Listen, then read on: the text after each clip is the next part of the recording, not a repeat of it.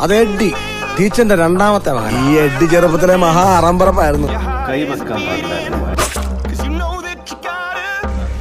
അത് ബിജോ ഇളയ ചെക്കനാ. ഇതുപോലെ ഇനി എത്ര എണ്ണം ഉണ്ട്? രണ്ടെണ്ണം കൂടി ഉണ്ട്. ഒരുത്തൻ അവൻ ഈ സിനിമ സണ്ട ആർട്ടിസ്റ്റാ ആൾ റോമിയോയാ. പിന്നെ മൂത്തൊരുത്തൻ. അവനെങ്ങനെ കുഴപ്പക്കാരനാ? കുഴപ്പക്കാരനാണോ എന്ന് ചോദിച്ചാ. നമുക്ക് പണിയോ. ബിലാൽ ജോൺ. ബിലാൽ ജോൺ. ഇവന്റെ ബാക്ക്ഗ്രൗണ്ട് എന്താണ്? ഇവൻ എന്ത് ചിന്തിക്കുമെന്നോ പ്രവർത്തിക്കുമെന്നോ പറയാൻ പറ്റില്ല നെരിങ്ങാൻ വിഷമമുള്ള ഏതാണ്.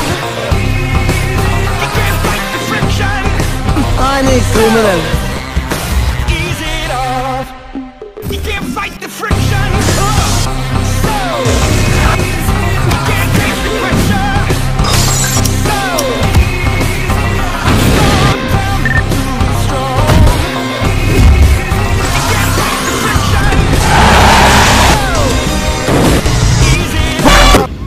നമുക്കൊരു ഒന്നൊന്നര ചോദ്യം ഉണ്ടെന്ന് പറയാം അതുവരെ കാത്തിരിക്കണം.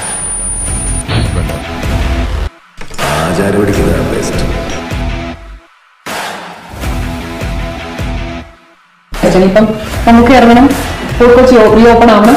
അപ്പൊ നമ്മൾ ഒരു അന്നത്തെ ദിവസം അറിയാം മമ്മൂക്ക ഫാൻസ് ആരാ ഇവനെ ചുമ്മാ അരയിൽ തിരിയിക്കും പുറത്തെടുക്കണ്ട.